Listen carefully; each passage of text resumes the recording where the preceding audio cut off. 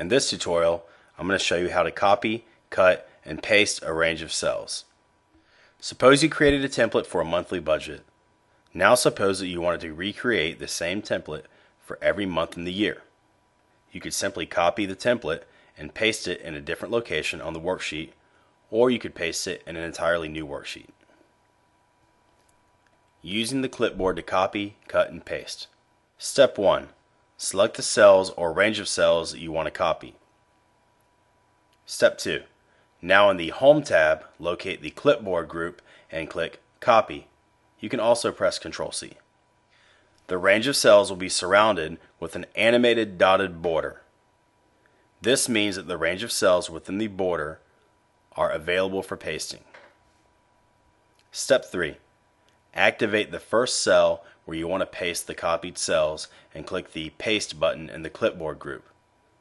The activated cell will be the very top left cell in the pasted range of cells.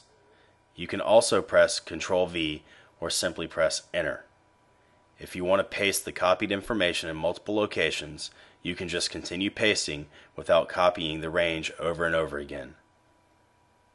Note: Instead of using the copy command, you could use the cut command but be careful. The difference with the cut command is that the content and formats will be removed once it is pasted in a different location. When you paste information, Excel will override any other data and formats that were in those cells. Copy, cut, and paste using the shortcut menu. You can also use the shortcut menu to copy and paste cell ranges. Just select the range, right click and select Copy from the shortcut menu. Then activate the top left cell in the new location, right click and select Paste from the shortcut menu. How to copy, cut, and paste cells using the keyboard. Control C will copy the selected cells. Control X will cut the selected cells, and Control V will paste any copied or cut cells. How to copy, cut, and paste and multiple worksheets. There may be times when you need to edit multiple worksheets. This is often the case when you have worksheets with identical templates that contain the same categories but different content within the table.